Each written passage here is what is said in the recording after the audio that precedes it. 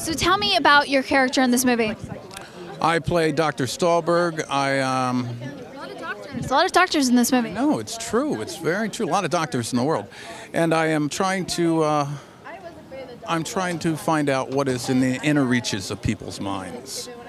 Maybe a little misguided, maybe a little sad, but uh, I definitely go on a very weird ride getting there, and I pay the price. What did you learn about fear by filming this movie? Yes, I learned a lot about fear. fear that it was going to be, uh, it was going to be an experiment in terror that I, at at the end of the film, I, I kind of freaked myself out. And it, it wasn't what I expected. It took me a little over the top. So, that being said, you have to see the movie to see how it ends. I know I heard there's a twist. You can't reveal anything to me. No. You'll have to go and see the film. What do you fear, John? Unemployment. Why? Get your unemployment check.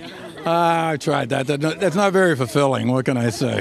You must be getting some work because you're in this movie. I am getting work. I'm very fortunate, and I uh, maybe it's longevity, but it's uh, it's worked out quite well for me. No one's killing your dreams. No, not in the least. Thank you so much, John. I appreciate it. Thanks for your time.